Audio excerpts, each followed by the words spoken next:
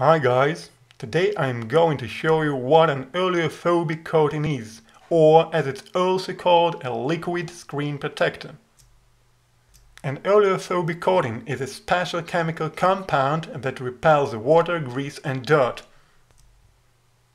If you treat the screen or body of the phone with an oleophobic liquid, water will collect in droplets that can be easily removed from the surface.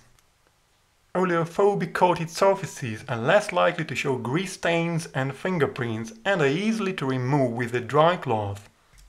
An oleophobic coating is usually applied to the surface of the phone screen. Some phones with glass or plastic covers may also contain an oleophobic coating, but in most cases, however, including high-priced phones, there is no oleophobic coating on the cover. The quality of the oleophobic coating depends on the thickness of the coating and on the composition, determined individually by phone manufacturers. The highest quality oleophobic coating goes to flagship and premium models. For smartphones in other price categories, less resistant liquid screen protectors are used. And budget or entry-level phones may not have an oleophobic coating at all. Please share your opinion on whether an oleophobic coating is useful to you and subscribe to my channel. See you soon!